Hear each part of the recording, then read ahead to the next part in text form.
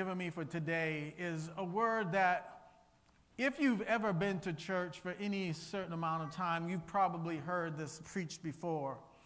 And the title of the sermon for today is One Day at a Time. One day at a time. And the funny thing about this message is that, in theory, it seems extremely, extremely easy to do. Right? The principle is simple. Don't worry about everything else that's going on a week, uh, a month, a year from now. Just focus in on today. Just focus in on one day at a time. But there's a scripture in Matthew, the sixth chapter, and the 31st verse, that reads the following. And it says, Therefore, do not worry about tomorrow, for tomorrow will worry about itself. Each day has enough trouble of its own. In other words, why go borrowing trouble from tomorrow when today is filled with enough trouble of its own? I don't know about you, but I, I often find myself falling into this trap of not worrying about just today, but trying to prepare and trying to figure out how I'm going to take care of tomorrow. And as Christians, we like to think that we're above this, but we know that we live in a real world and we face lots of situations, circumstances that do kind of make us worry. I tell you, everything seemed to be okay when I was younger. And then I got married, and then I had a whole set of things that I began to worry about. We'll be able to afford this. We'll be able to get a house. We'll be able to get a car. We'll be able to do that, this, the other thing. And then, just when I felt like I had it all figured out and I was able to worry about just today, then we had kids. And that changed everything. Because I don't know about you, when you get kids, you start thinking about every possible thing that could ever go wrong. And not only that, you got all kinds of bills that you got to worry about oh, they need braces, and oh, they need, uh, they need driver's ed, and oh, they got to go to the prom. And you're like, wow, your life becomes nothing more than a human calculator. You're like, that's going to cost this, and that's going to cost that. And the next thing you know, you're just constantly worried about how can I? How will I? Instead of just taking the time to just enjoy the moment in the day that you're living in. And so many of us fall, fall into this situation. But God wants us to understand that we cannot be distracted from the present. Today is a precious day. This moment in time is valuable. Once you get past today, once you get past this time, you can't get it back. You can never get this moment back again. You can have others like this, but you can never have this moment in time again. So, God wants us to learn to focus in on today and not become so worried about what's going to happen tomorrow. And it also teaches us to rely on God. That's the key to being successful in our spiritual walk is to really learn to have faith every single day for what God is going to do in your life. But oftentimes, when we lose sight of God and we lose sight of the fact that He is steering and guiding our life, we fall into that trap once again. And, and, and it always seems to like leave our mind all the successes that God has done for us. Like every single time we find ourselves in jeopardy and God delivers us, we do like the Israelites. For a brief moment, they're, they're all excited and they're all in on Christ, and oh, he delivered us from this and he delivered us from that. But every time they would always go back and start doubting him all over again. And I can't even I can't even fault them because I know that I do the same. I feel as though I believe, I feel as though I trust him, but then something comes to shake me just a little bit, shake my confidence shake my, my belief, my understanding of who God is to me. But we got to just continue to remind ourselves don't worry about tomorrow. focus on today. And so God is reminding us that this is a very, very important thing for us to do. And the reason why God wanted me to teach this now and at this particular junction is because how many of you are here for the deliverance service? Raise your hands. And how many of you believe that you really, uh, received deliverance? Now, how many of you have been challenged by the enemy since you received your deliverance? Yeah, all the same hands are still going up. And why is that? Did you not get your deliverance?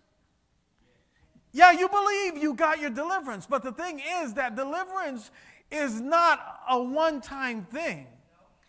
Deliverance is a process that you must go through.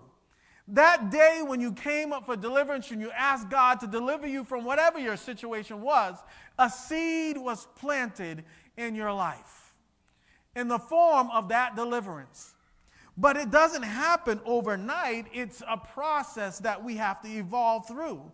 We are forever changing from that point. God has begun something in you, and He is going to continue to work on it. I have here something that we all probably have seen before. You remember this, right? Good old Rubik's Cube. This thing has tormented many days in my life. When I was a child, I used to try to solve this thing all the time. And I never got past four sides. I was so, so close, but I could never get past four sides. And Leroy would get frustrated. Leroy understood that you could break this thing apart and take every single one of these squares out and put it back together in the way that it was supposed to be. And Leroy did that and said, Look what I did. I solved the cube. And then later on, Leroy got smarter and said, I'm not doing all that. So Leroy took all the stickers off and put them back the way they were supposed to be. Now, Leroy didn't want to have to go through the process of figuring out how to solve the problem. He just took the shortcut. But what I'm here to ask you today is if you look at this cube right here and you look at this, what would you say this color, what this is supposed to be right here? Do you know? What's. It's got multicolors. Some are saying red, some are saying blue, orange. We don't know right now, right? But this is like us. God has started something in our life. And on the surface right now, you can't really tell what it is. But as God begins to shift and move the pieces around in our life, it starts to take on new form. And then again, He starts to change us yet again and you see that, wow, okay, I'm starting to see a pattern evolve in this. Many times people look at our lives and they see us as what we once were, and we're saying, wow, I remember this person when. And they like to remind us of all the negative things that we were. But over time, when God starts to evolve us and He starts to shift us and turn us and shape us and mold us, you start to see some differences in our lives. And yes, God did begin to deliver us, but that doesn't mean that we're not going to have problems because every time He moves us in one direction, usually there's a side effect in another direction. So as He continues to move us in one side, yeah, this side looks pretty good. But now another side looks like it's a mess. And I don't know about you, but in my life, I feel like this happens all the time. Just when we think we got one part of our life all figured out, all of a sudden something else happens, and now it looks like another area in my life is full of chaos. Now, yeah, this is looking good, but yeah, yeah, your marriage is looking good, but the next thing you know, your car breaks down. And you're like, Lord, how could you let this happen? I just got one problem fixed and another problem comes up.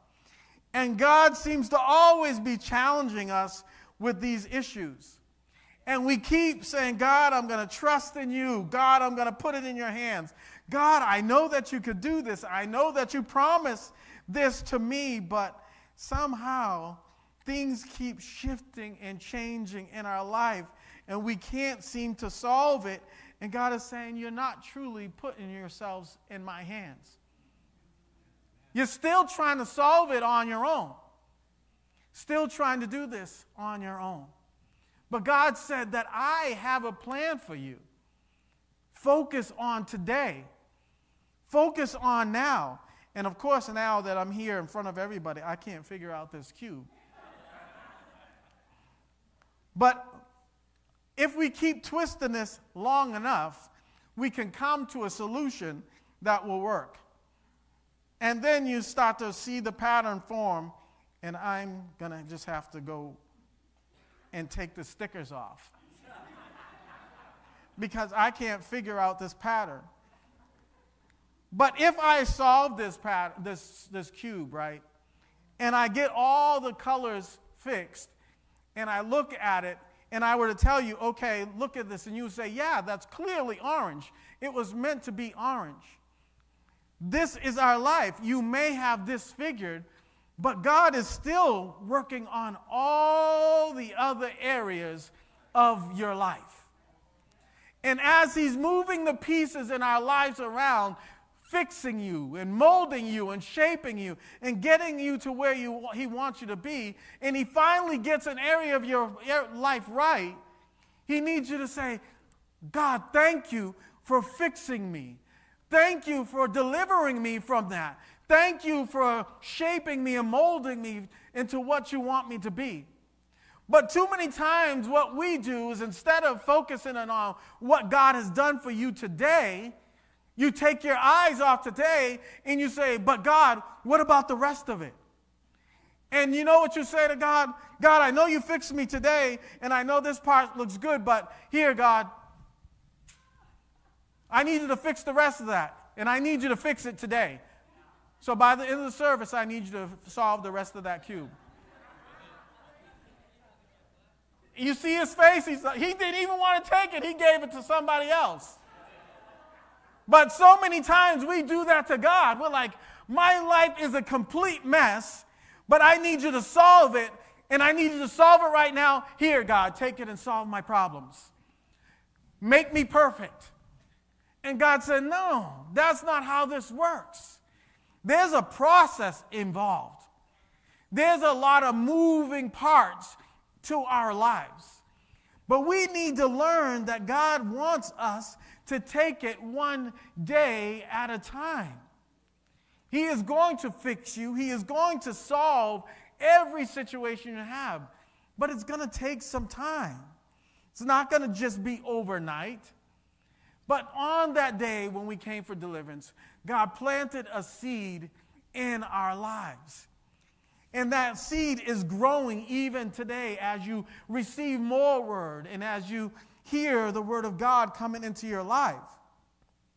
In Philippians, the first chapter, in the sixth verse, it says the following Being confident of this, that he who began a good work in you will carry it on into completion into the day of Christ Jesus. Wow. Thank you, God, for delivering me.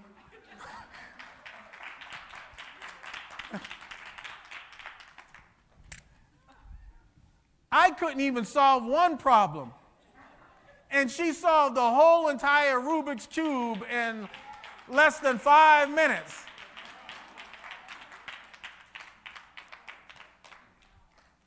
Look what God can do. Because Leroy couldn't solve one color. But when you place it into the hands of somebody that knows what they're doing, little becomes much when you place it in the master's hand. Amen. We're limited in what we can do, what we know. But God is unlimited. Unlimited. So God is trying to evolve us. And so he puts that seed inside of us and he's cultivating it. But the thing about a seed is this how long does it take to plant a seed? Yeah, a minute. A minute a seed can be planted in just one minute. But how long does it take for that seed to go from being a seed to being a, a full on a bush or a flower? Wow, we got a horticulturist in here. Brother Eddie's like six to eight weeks, depends on the time of season and the particular location and how much water and how much sun and how much exposure, what type of flower it is. Is it a bush? Is it a plant? Is it like, good Lord, I wasn't meaning that deep, Mr. Green Thumb. I'm not aware of what green plants look like. All of them are brown in my house. That's not true. That's not true. I just wanted to get her reaction. Although we were in a season where we had a lot of dead plants, but thank God we're past that season. But the point is that it only takes a moment to plant a seed. It only takes a brief moment to plant that seed. But within that seed is everything that is necessary to bloom and blossom into a full on beautiful tree or a bush or a flower. Everything that is necessary is in that seed. So your deliverance on that day was planted in your lives in the form of that seed. But the other thing that I find very, very interesting about planting a seed. In each one of our lives, we tend to look at our lives and we reflect back on who we were. And many of us know that we were a mess before God got a hold of us. And if we're all honest, we know that we were just filthy and dirty until God covered us in His blood. But don't you know something that's interesting about seeds? You don't put a seed into a clean environment. A seed is planted underneath the dirt and the soil. All the things that we look at, and when, when, when you, see, you see this ground and you look at that dirt, nobody looks at the dirt and says, Oh, I want to rub that all over me. You look at dirt and you say, ew, that's disgusting, that's gross, that's impure, that's imperfection. And God is saying that's what our life looked like before He got a hold of us. We were a mess. We were disgusting, we were disgraceful, but He planted a seed inside of us. Deep inside of that dirty, filthy person, God planted a seed. But don't you know that all those things that we once looked at, at, that they were disgusting and gross in the form of that dirt is now no longer called dirt, but now we just call it soil. And from that same exact dirt that once people looked at, at you and said, oh, that person's not going to be any good. No, look at him. Look at how, look how he looks. Look at what he's into. Look what he was involved in all those things that people used to hold you accountable to, God is saying that all those things are the same thing I'm going to use to flourish that seed that I put inside of you. Not only do I is it there, but I need that dirt in order for that seed to be successful. That dirt is going to be nourishment to that seed. So God is calling us to recognize that yes, we once were a mess. Yeah, we did need deliverance. But God said, don't get deceived by that what you were. I am going to use that to my glory, and it is going to cause you to be an agent of change. God said, You're not where you are by accident, and you're not who you are by accident. I have created you like that. And that same thing that you once were known for being a, a drunk or being a womanizer or being this or that, God's going to use and turn that around to his glory. I know I talk to Deacon Jenkins all the time, and he's in the men's group, And he talks all, all the time about when he was younger, he was all over the place and he used to drink and do all these things. And then God came into his life and changed him. And then all of a sudden, he was an upstanding, law abiding citizen and a man of God. And soon he became a deacon in the church.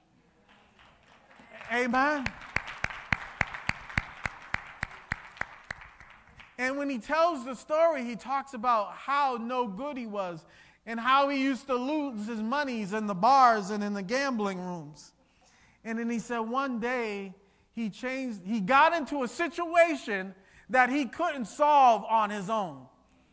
And he said to God, God, if you get me out of this situation one more time, I promise you I won't go back. And what did God do? God got him out of that situation. And what did he do? He never went back.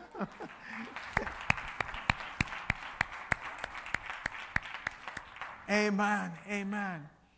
And now he tells that story to all the young men that are coming up now. And now he uses that testimony to let us young men to know that no matter what you're into, God can and he will deliver you. So, a message that once upon a time could have brought disgrace on him and made him look poorly now is used as a testimony to talk about the goodness of God. And what God was showing me and, and, and, and, imparting into my spirit is to show me that too many times we look at our lives and we look what we're going through and it's just so focused on the past things that we did that we can't see all the progress that we have made and who we have come in Christ. And also, what God is showing me is so many times when we get these bondages and, and we get into these situations, we don't realize God is moving and we keep praying, God, deliver me from this situation. God, I need you to take me out of this. God, please take me out of this prison that I am in. And God is saying to you, why are you praying to let you out of that situation when I'm the one who put you into that situation? He said, I'm the one that put you in that situation. And you know why? He said, Because you're my secret agent. I put you in there for a purpose. I put you in there for a purpose. Turn with me to, I didn't put it on the projector, but turn with me to Acts, the 16th chapter. Acts, the 16th chapter. Minister Laurie, do you have it? Do you think you could read that for me today? Can you get her a, a microphone? Can you pass her one of the microphones? I need her to put on her professional voice. Then came he to Derbe and Lystra, and behold, a certain disciple was there, named Timothy, the son of a certain woman, which was a Jewish, and believed, but his father was a Greek, which was well reported of by the brethren that were at Lystra and Iconium. Him would Paul have to go forth with him, and took and circumcised him because of the Jews which were in those quarters, for they knew all that his father was a Greek. And as he went through the cities, they delivered them the decrees for to keep that were ordained of the apostles and elders which were at Jerusalem. And so were the churches established in the faith and increase in the numbers daily. And when they had gone throughout Phrygia and Wait, region of is Gal- that is that Acts the 16th chapter? Yeah. Yeah. Oh, she's in the King James version. Okay, okay. Keep going. I may be pronouncing words wrong, but I think I'm in the right chapter. in the re- region of Galatia and were forbidden of the Holy Ghost to preach in the word in Asia. After they were come to Mysia, Mysia they essayed to go into Bithynia, but the Spirit permitted them not. And they passing by Mysia came down to Troas. And a vision appeared to Paul in the night. There stood a man of Macedonia and prayed him, saying, Come over into Macedonia and help us. And after he had seen the vision immediately, we endeavored to go into Macedonia, assuredly gathering that the Lord had called us f- to preach the gospel to them. Therefore, losing from Troas, we came with a straight course to Samothracia, and the next day to Neapolis and from there to Philippi, which is the chief city of that part of Macedonia and a colony. And we were in that city abiding certain days. And okay. on this, Can you now go down to 16? You want me to use your Bible or just read it from there? Um, on the Sabbath, um, if you could do it on the projector, I can read the right version. Okay. Go to the 16.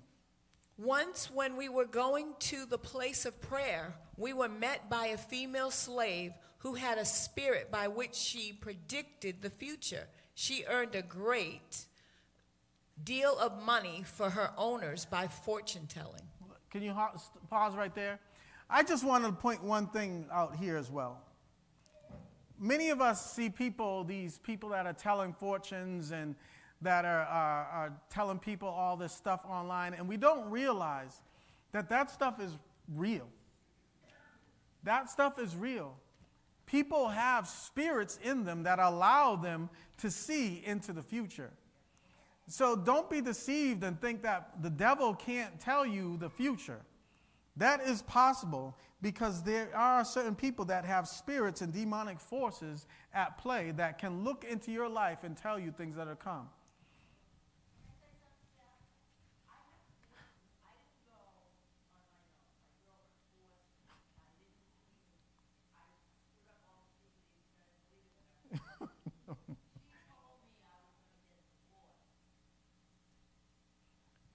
We'll come back to that. Well, let me just get through this next part. Go ahead.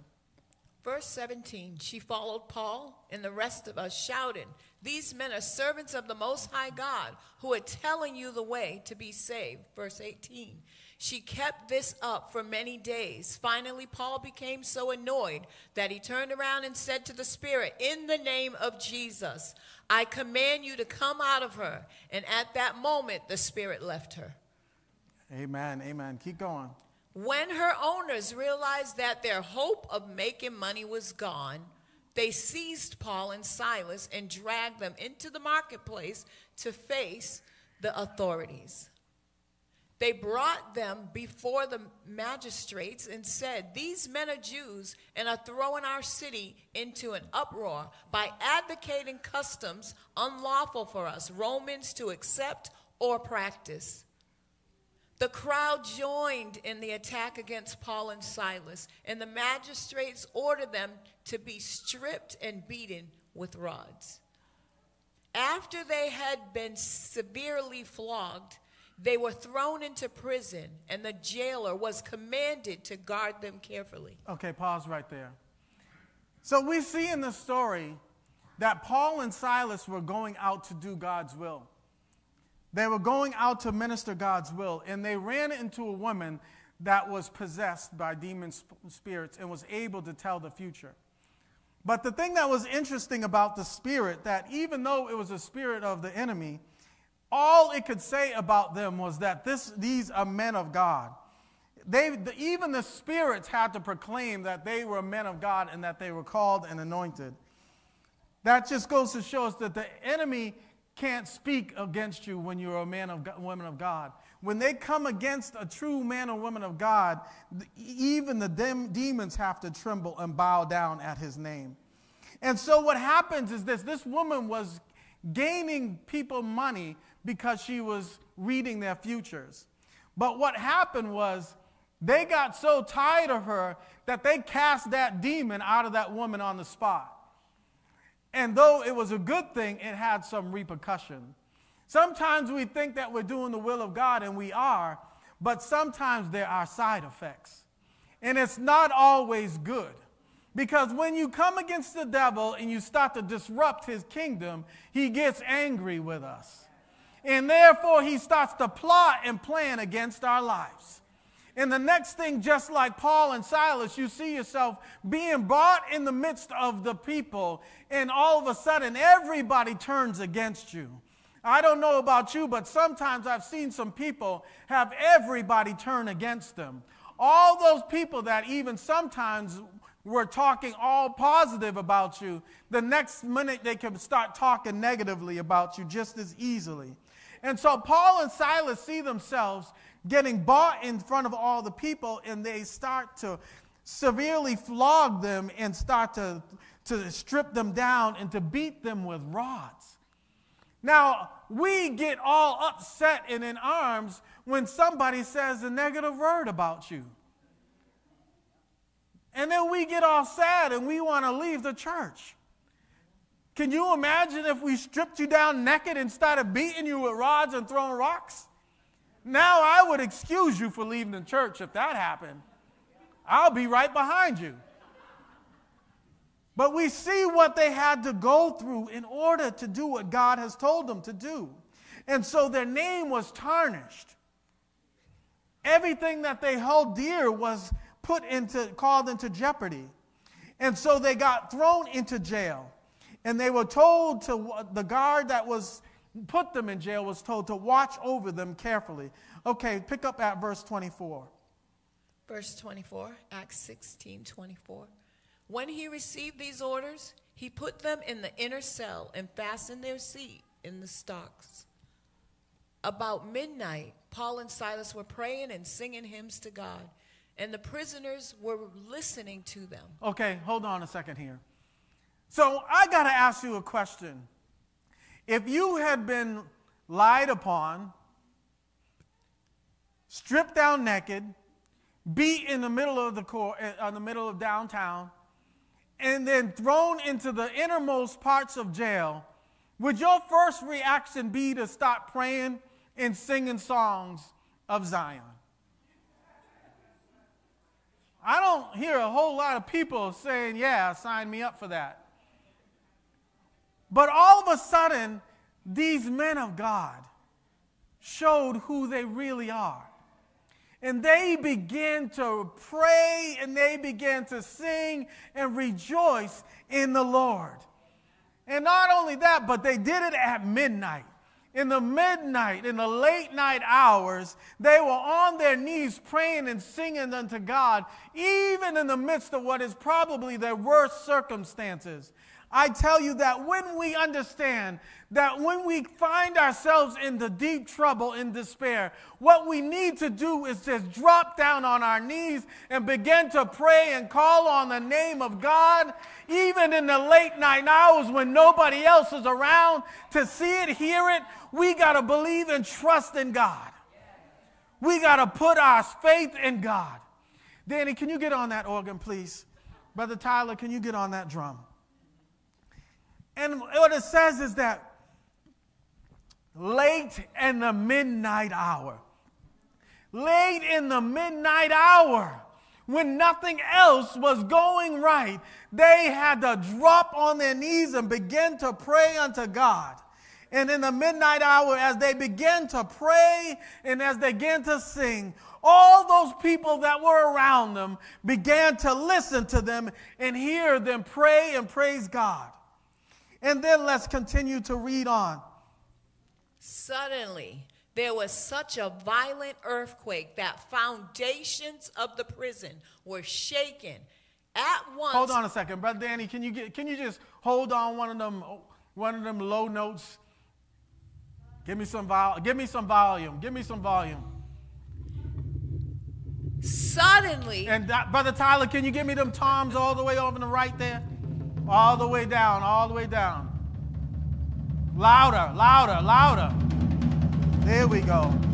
And now, suddenly there was such a violent earthquake that the foundations of the prison was shaken. And once all the prison doors flew open and everyone's chains came loose. The jailer woke up, and when he saw the prison doors open, he drew his sword and was about to kill himself because he thought the prisoners had escaped. suddenly, suddenly, suddenly, every chain, every door, everything that was holding them captive was shaken and broken. Suddenly, in the midnight hour, after they had prayed and sang and gave glory to God, every chain was broken. I said, suddenly in the midnight Yeah, hour, yeah, yeah, when they began to pray, every chain was broken.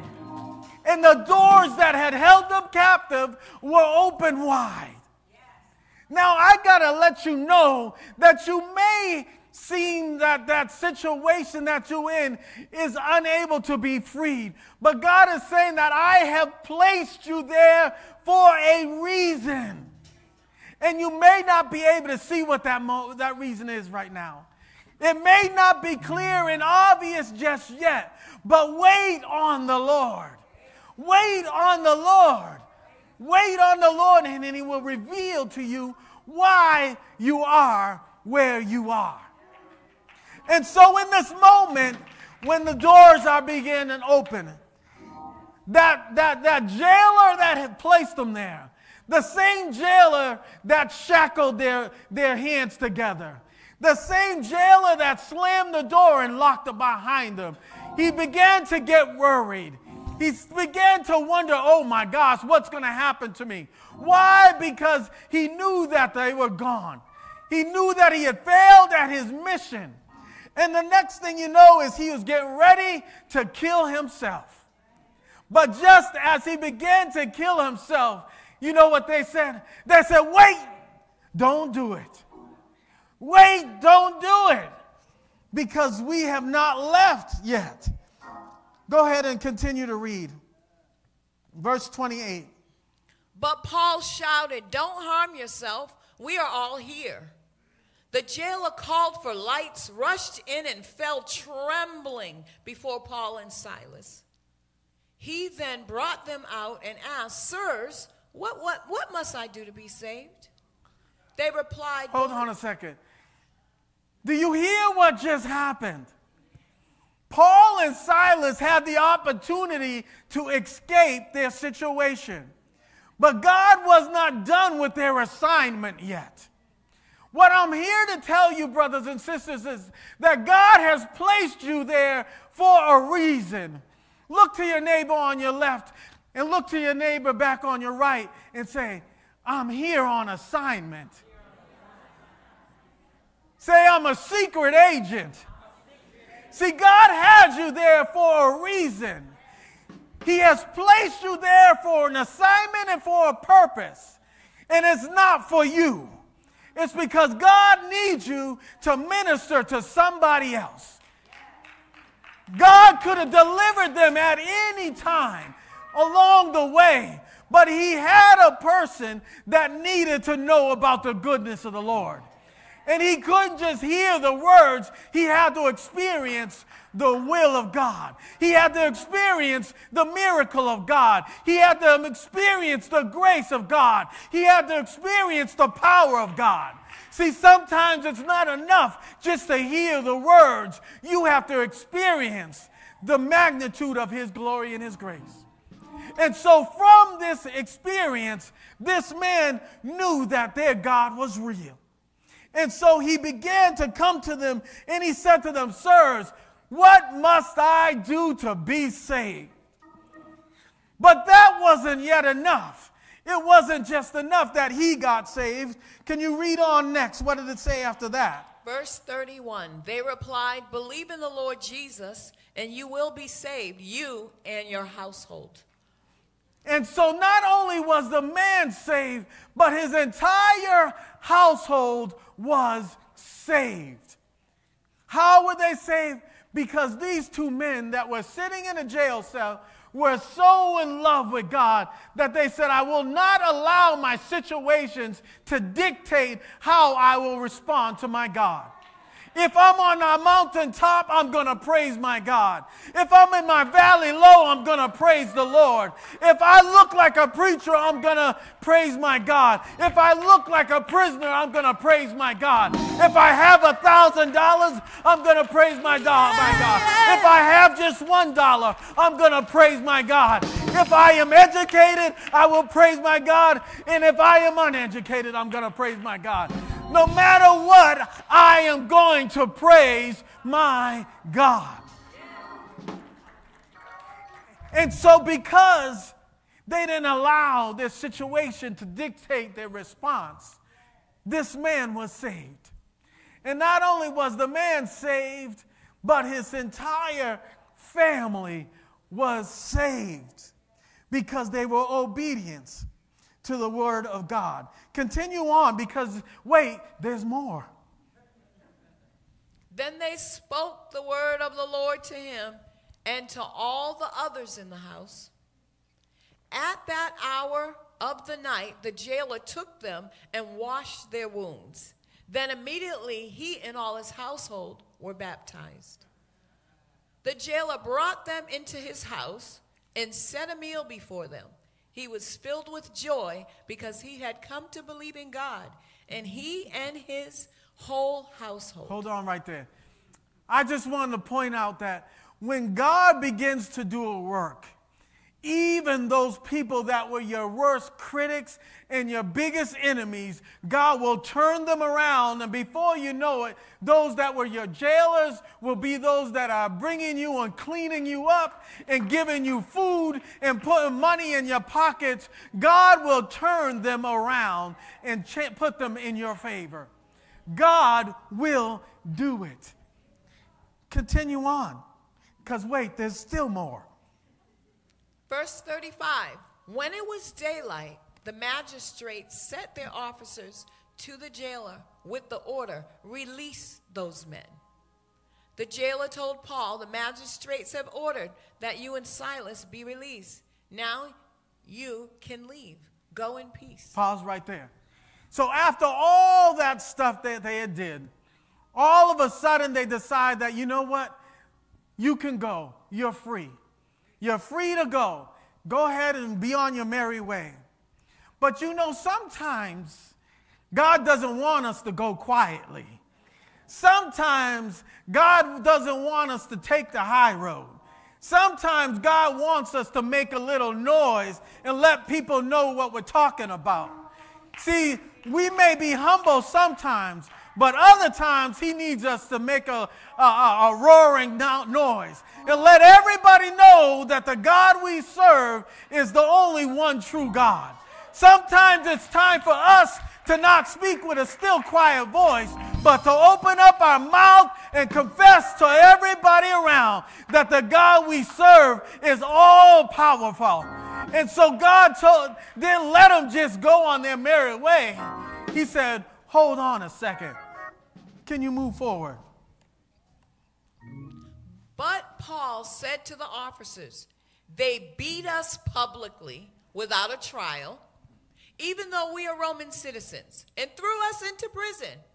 And now do they want to get rid of us quietly? No. Say no. No. Let them come themselves and escort us out. Hold on a second. Hold on a second. Wait a second here. Now you know Paul was feeling himself. Paul all of a sudden got on a whole nother level. He was like, no, wait a second. You're not going to humiliate me in front of all the entire public and then expect me to just sleek on out of here in the middle of night like nothing ever happened. He said, no, no, no.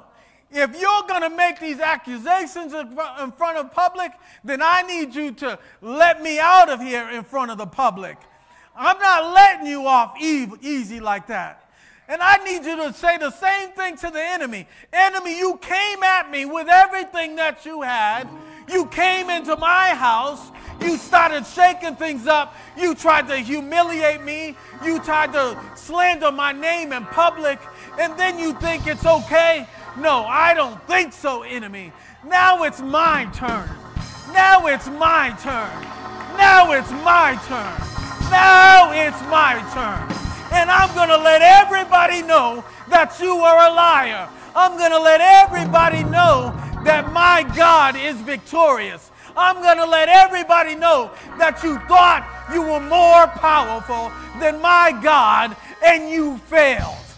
No, I'm not going quietly. So Paul said, You who put me in this situation need to come out and escort me out of that situation. And you know what? Keep going, there's more. So Paul demanded a parade. the officer reported this to the magistrates. And when they heard that Paul and Silas were Roman citizens, they were alarmed. They came to appease them and escorted them from the prison, requesting them to leave the city. After Paul and Silas came out of the prison, they went to Lydia's house where they met with their brothers and sisters and, and encouraged them. Then they left. Now, now, can you see what just happened? God turned that situation that seemed that it was so bleak and so d- dark all the way around until the point where the officials had to publicly come down and humiliate themselves in front of the man and uh, men of God and escort them out. And he showed and he made them do this in front of everybody.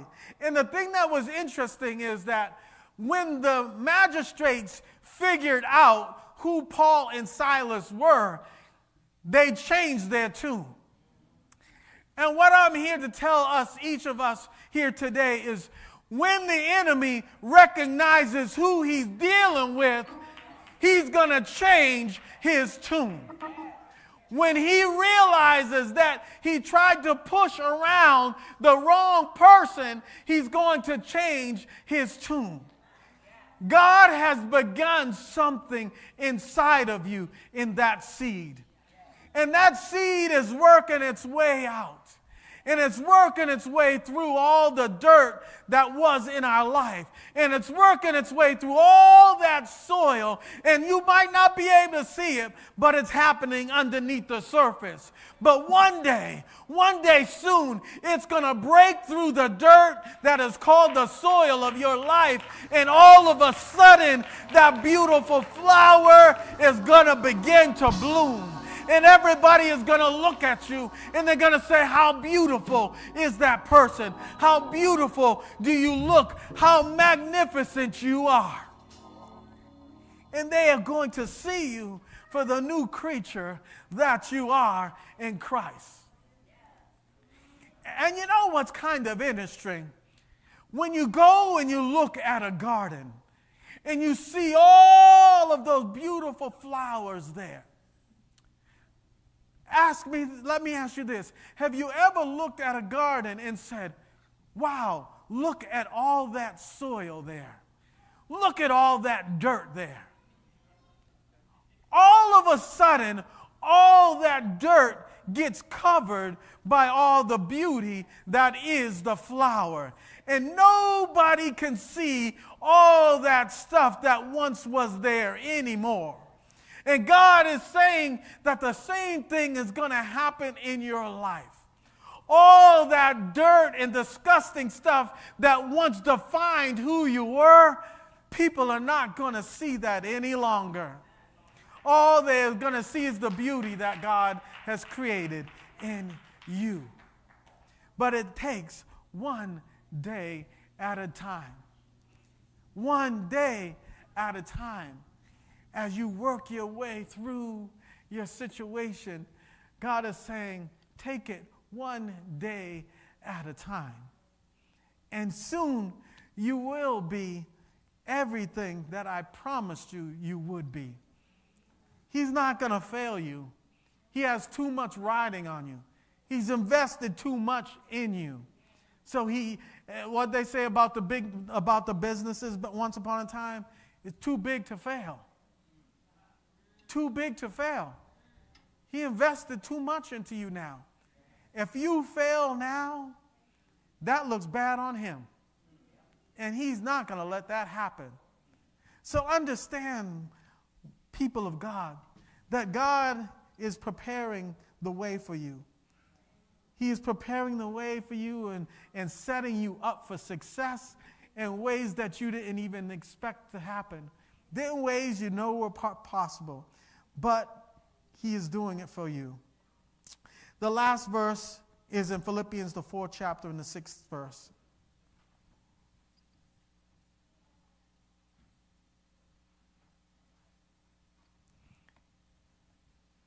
And in Philippians, the fourth chapter, in the sixth verse, it says, Do not be anxious about anything, but in every situation, by prayer and petition, with thanksgiving, present your, um, present your requests to God.